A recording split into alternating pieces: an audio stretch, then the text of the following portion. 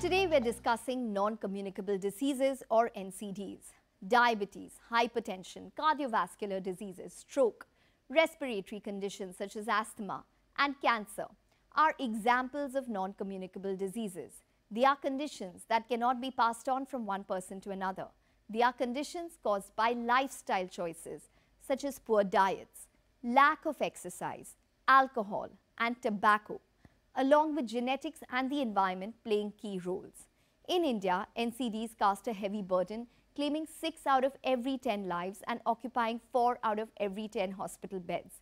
Cardiovascular diseases stand as the leading cause of death, with a stroke-related death occurring every 4 minutes. Today, only 12% of Indians with blood pressure can effectively manage it. Diabetes is rampant, affecting 11% of the population. Over 3 crore Indians are asthmatic. And when it comes to cancer, we have a rising burden with 1 in 9 Indians expected to suffer from the disease in their lifetime. While talking about non-communicable diseases, it is also crucial to know about the metabolic syndrome, a combination of factors like obesity, high blood pressure and abnormal cholesterol which significantly heightens the risk of NCDs like diabetes, heart disease and even cancer. Shockingly, 25 to 45% of urban Indian adults currently grapple with the metabolic syndrome.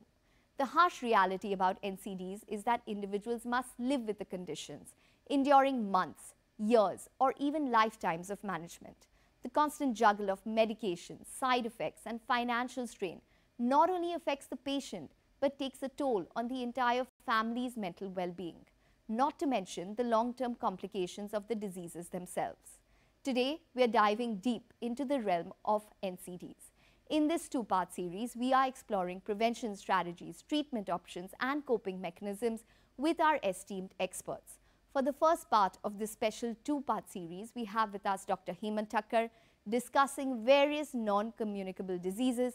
And in the second part of the show, we will dive deeper into India's diabetes problem with Dr. David Chandy.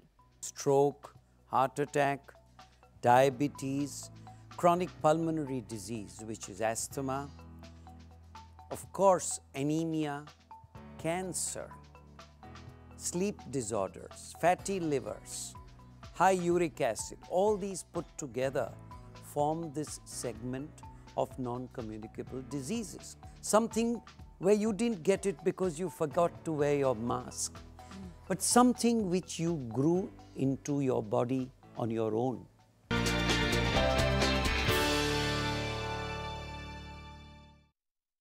Start with which are the most common non-communicable diseases you see as a doctor and the primary causes amongst patients. So, non-communicable diseases, as you said, cardiovascular, which is stroke, heart attack, diabetes, chronic pulmonary disease, which is asthma, of course, anemia, cancer, sleep disorders, fatty livers, high uric acid, all these put together form this segment of non-communicable diseases. Something that you have not caught it from your neighbor, something where you didn't get it because you forgot to wear your mask, mm. but something which you grew into your body on your own.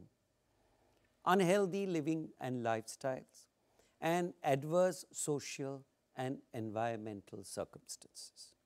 Those are the things that we see. So, just to narrow down a little bit, how much does lifestyle play a part in terms of non communicable diseases, and how much does genetics? Because we're also talking about diseases such as cancer here? So, genetics, the South Asian where we belong to, we have a diabetic gene, we have a cardiovascular gene. So, the seed is planted at birth.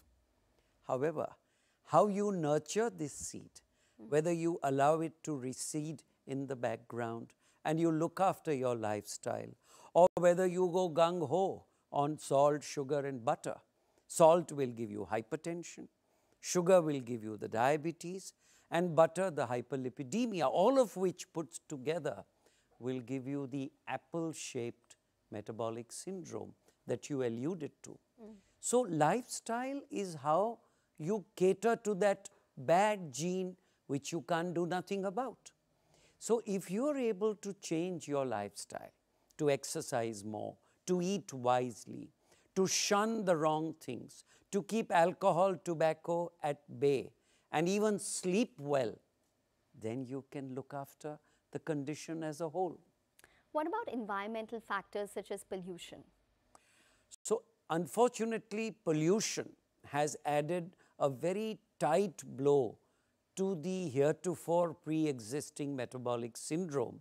And of late, we are seeing asthma, chronic obstructive lung disease, repeated sniffles and upper respiratory infection, chronic sinusitis, all this being added on.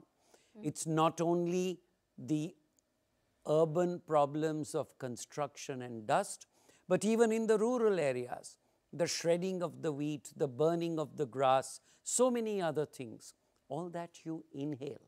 Mm. And now, riding piggyback on post COVID, the respiratory problems have come to the fore. So, how well you look after the air that you breathe is more important, and how well you shun yourself from the chemical pollutants in the atmosphere is something that is important. According to you, then, what would be the key risk factors for probably contracting a non communicable disease? So, I think it's unhealthy lifestyle. Mm. If you eat badly, you're only having fast food. If you're seeing that every time you want to celebrate, you don't go out anywhere but you go and hit the bar.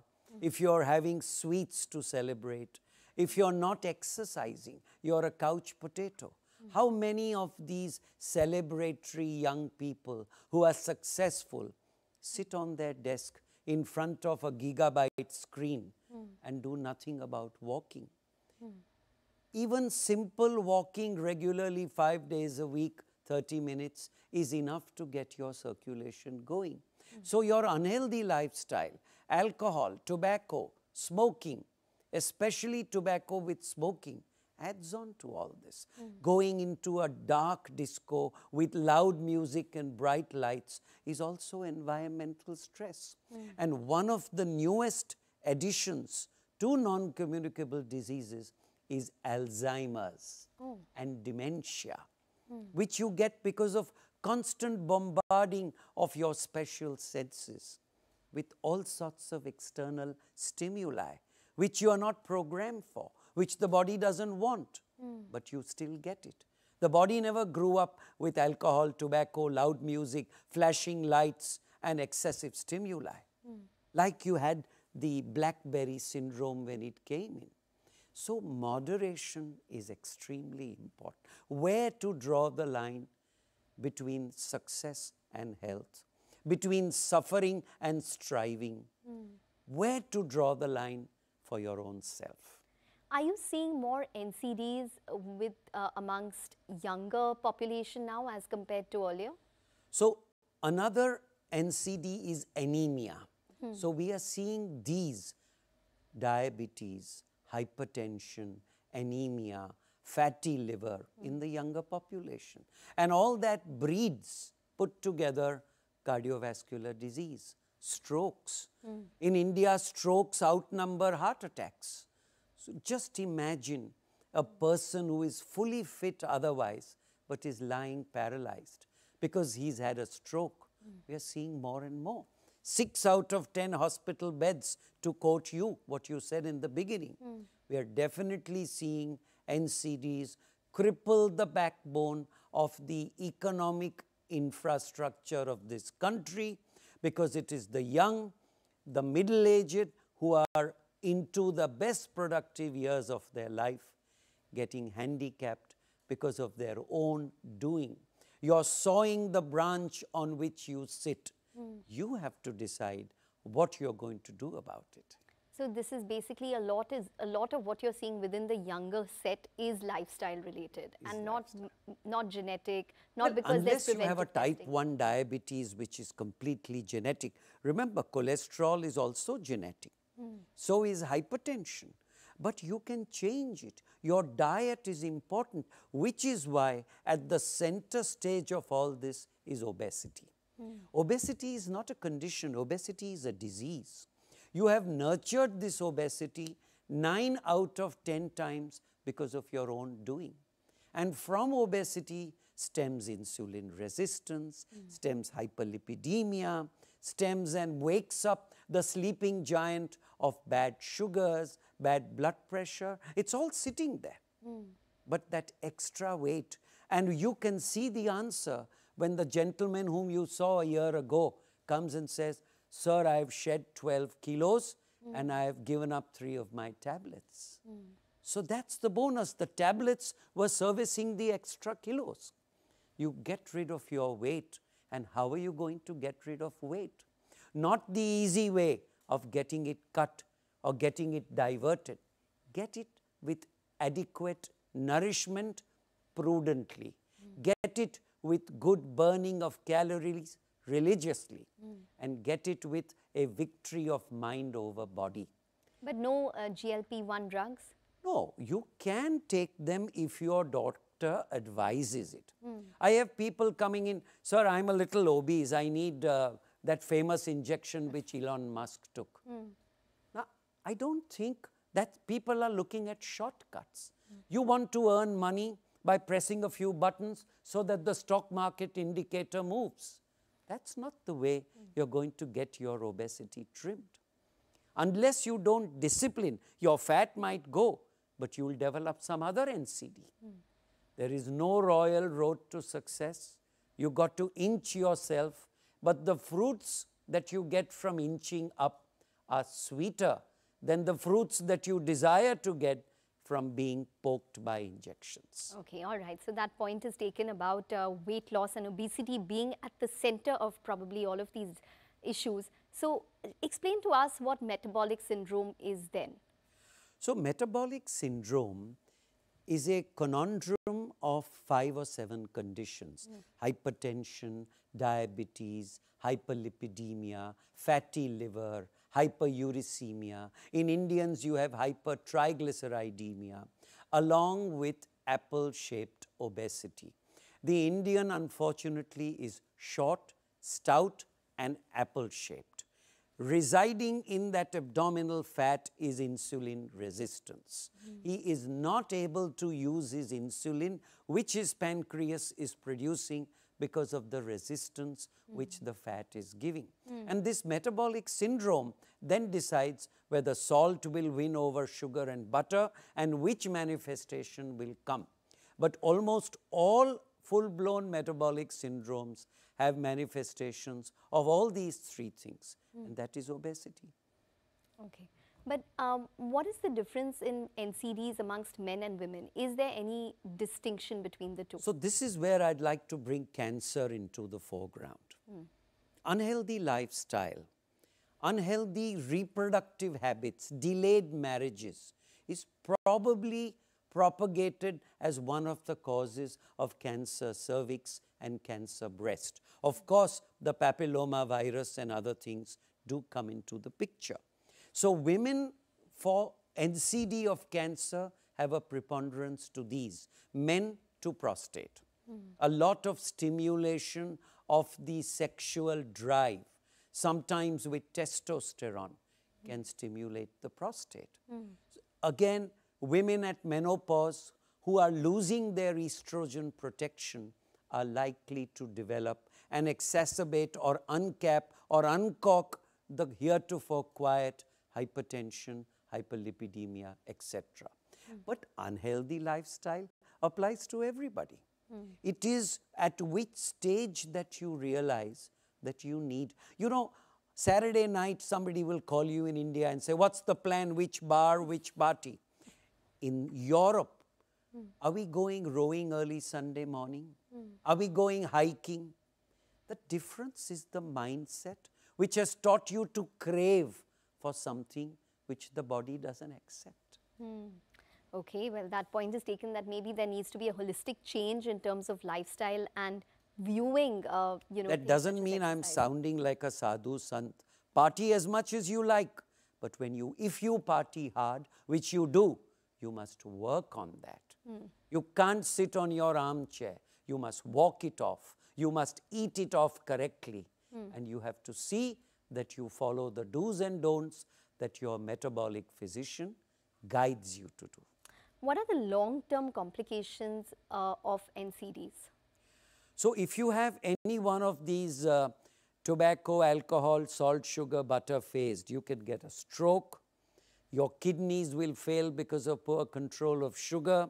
With your high blood pressure, you can get a heart attack. You can develop retinal problems. You can get peripheral vascular with amputations. Another important environmental factor which nurtures NCD is inadequate sleep. You know, unfortunately, people boast. मैं तो छः घंटा सोता हूँ I am absolutely all right. It is burning that reserve, which doesn't come overnight. You want to burn the candle longer, not burn the candle faster. Hmm. Adequate sleep, adequate rest, which switches off the metabolism in the body. That's important. So, conditioning your body to every little thing. If you don't dot the I's and cross the T's, you're going to grow one of the NCDs. You know, Dr. Thacker, I also wanted to touch upon what the preventive tests are in order to reduce your risk when it comes to one, metabolic syndrome and two, non-communicable diseases, both for men and women and age-wise. That's a very good question. If you have parents, even one of them who is diabetic, hypertensive, heart disease, stroke, etc., both of them, then definitely, then you have to begin looking at your parameters early. Look at your lipid profile, look at your sugar profile, look at your blood pressure, and don't gather weight. Hmm. The puppy fat, the teenage fat, all that you should, when you enter your quarter century, start thinking of trimming it. Hmm. You don't want to carry that burden. If you're into middle age, then if you have any one of these metabolic conditions, hmm. think of treating it early, treating it well, and in most cases, we even give them a blood thinner. A blood thinner is an antiplatelet agent which preempts and prevents thrombosis, which gives rise to stroke, heart attacks, etc. And then as you age and get into menopause, women have to watch out more whether this unmasking of other hormonal or internal conditions because of loss of hormonal protection, whether that needs to be attended to. Heart attacks and blood pressure are more common in men between 30 and 50. But after 50, women catch up like they always do and overtake the men. Between 50 and 60, the incidence in women nudges forward. So you have to try to stay one step ahead of the disease. If you are asthmatic, but you have to work next to the construction site, think of your vaccine, mm. think of protection. There are a lot of people who, even in not COVID times, used to wear a mask to go to work. Mm. You have to learn to sleep. If you're doing odd shifts and call centers, we did emergencies when we were kids. We used to come and sleep in the day. Mm. If you have a party twice a week, see to it that you are pulling up your socks the remaining five days of the week. Cholesterol, sugar, hypertension, blood pressure we've discussed in a previous episode, but uh, wanted your sense in terms of what are the ideal levels. And since you've discussed weight so much, should one follow even the BMI index? So what should your choles- ideal cholesterol levels So, be? Sugar levels? cholesterol total is not as important as the LDL, low density lipoprotein, and ideally under the level of 100. And to do that, don't say I'm going to walk it off because or I'm not going to eat because only 9% of your blood cholesterol comes from diet. So if your LDL is 150 and if you have zero fat, you will still not reach 100. If you need the tablet, take it. The other thing about us and our patients, हमको गोली नहीं खाना है हम दूसरा सब करेंगे Hmm. he goes and buys his Nike shoes and his lovely socks and half trousers and he starts walking. In six weeks, honeymoon is over. Hmm. He goes back to his couch potato. So you have to take a tablet if you need to take it. Keep your blood pressure under check. The blood pressure value varies from age, but anything more than 120 80 in younger age and 130 90 as years advance, you need treatment. And sugar? Sugar, HbA1c is the three month sugar. Anything more than 6.1, 6.2, the blinkers have to come on. Depending on your age, the HbA1c rises. But you can see how the sugars drop if you eat prudently, if you burn it off. I've known people who do more exercise on Monday and Tuesday because they partied hard. Mm. It's like a, a salary in your pocket. If you spend too much over the weekend, you will spend less on Monday and Tuesday. All right. Uh, well, Dr. Thacker, we need to take a short break, but we're going to be back with more questions. Stay tuned.